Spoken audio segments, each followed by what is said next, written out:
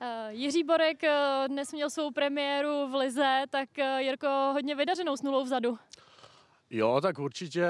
Hlavní, hlavní pro mě si myslím, že jsme vyhráli. Ta nula je, je navíc, takže třeš, třešnička na dortu pro mě, ale samozřejmě kluci mi pomohli, takže se mi do toho vstupovalo jednoduše a druhý poločas ještě za mnou řvali domácí fanoušci a hnali, hnali mě, jak mě, tak i tým dopředu, takže to bylo výborný.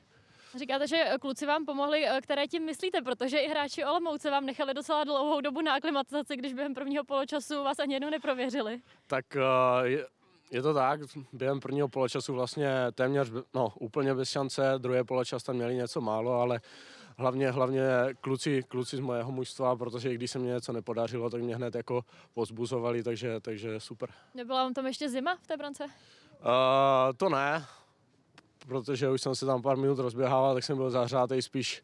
Uh, když jsme došli z kabiny, tak to začalo trochu foukat a byla trochu zima, ale pak, pak už uh, jsme se dostali zase do tempa a bylo teplo, no, takže.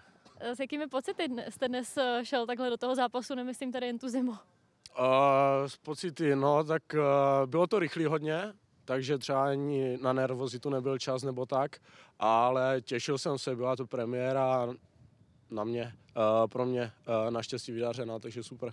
A o poločase museli jste tam něco upravovat v komunikaci třeba s obránci, říkali jste si toho víc, nebo jste byli dostatečně sehraní z tréninku?